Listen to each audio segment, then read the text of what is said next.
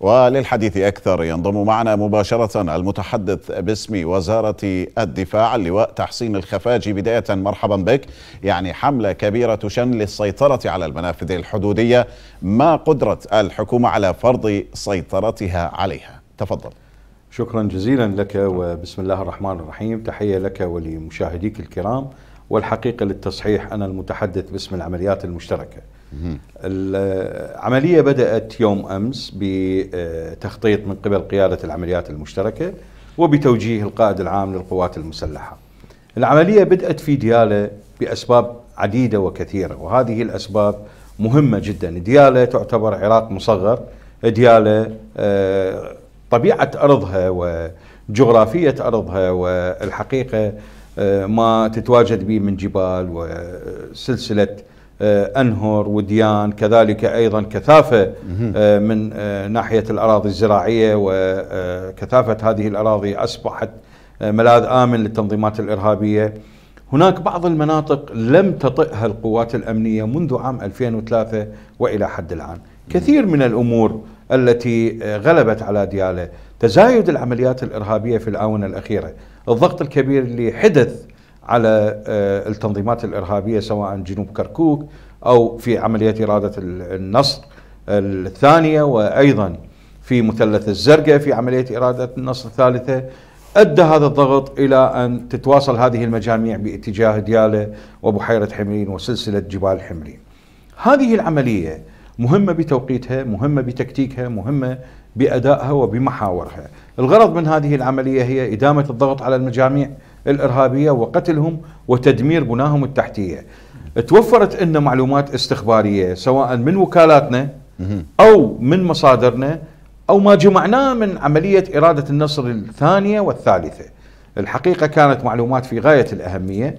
وأجرينا كقيادة عمليات مشتركة تخطيط وبناء آه، تقدير موقف وفقا للمعلومات والاستخبارات التي وصلتنا سواء من مصادرنا أو عن طريق قوات التحالف الدولي أو عن طريق آه، ما آه، جمعناه من الإخوان المواطنين المتعاونين معنا. هذه العملية بدأت بتكتيك يختلف، بدأت بقيام جهاز مكافحة الإرهاب والقوات الخاصة العراقية قبل ثلاث ساعات من انطلاق العملية بعمليات نوعية والتقاط أهداف معينة وبمنتصف الليل بعد منتصف الليل العملية بدأت الساعة 6 بدأت آه، الحقيقة جهاز مكافحة الإرهاب والقوات الخاصة العراقية بعمليات إنزال نوعية بالتعاون مع طيران الجيش الحقيقة وقمنا بالتقاط أهداف في غاية الأهمية لنا. يعني لواء تحسين هذا هذا ما يخص الجانب الأمني والمعارك القائمة ضد التنظيمات الإرهابية تنظيم داعش.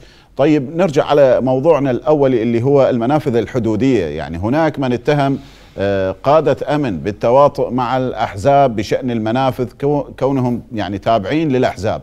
آه، كيف تعلق وأنت متحدث باسم العمليات المشتركة؟ يعني آه، يوم أمس كان هناك زيارة للقائد العام للقوات المسلحة المحترم بعد أن أشرف على عمليات إرادة آه، أبطال العراق المرحلة الرابعة. ذهبنا إلى المنفذ الحدودي اللي هو منفذ مندلي.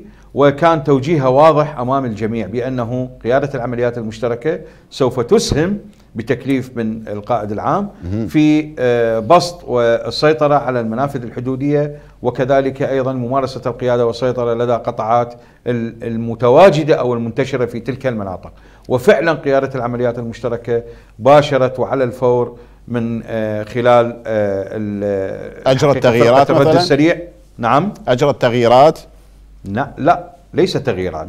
وإنما القيام بالوصول إلى المنافذ الحدودية ونشر فرقة الرد السريع، نشر أجهزة أمنية أخرى، الغاية من هذا النشر هو والسيطرة على المنفذ الحدودي هو اولا وصول تعليمات بالتعاون مع الموظفين اللي موجودين وتوجيهات القائد العام حول السيطرة ومنع الفساد ومنع آه، تسرب المال العام وهدر المال العام. وهذه. خطوة أولى. طيب الخطوة طيب. الثانية نعم إذا فضل. تسمح لي إذا فضل. تسمح لي.